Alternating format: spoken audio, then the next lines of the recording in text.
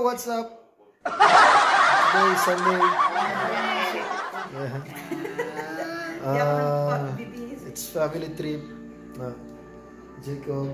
Yan. Dito kami ngayon sa sa hair salon ni Jacob and uh, gugup- pagupitan namin ng uh, ang buhok nito. Ayan.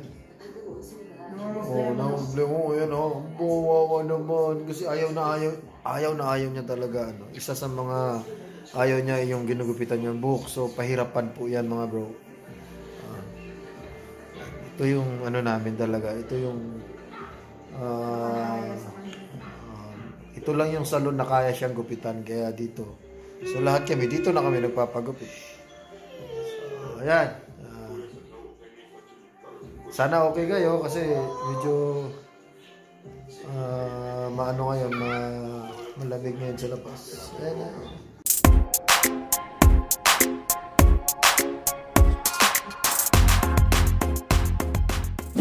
Anyo nga sa'yo mga bro, Ah, hindi namin nakuhaan ng video ang buong ah, paggupit sa kay Jacob gaya ng ah, purpose sana ng video na to. Kasi nga walang wala kaming cameraman.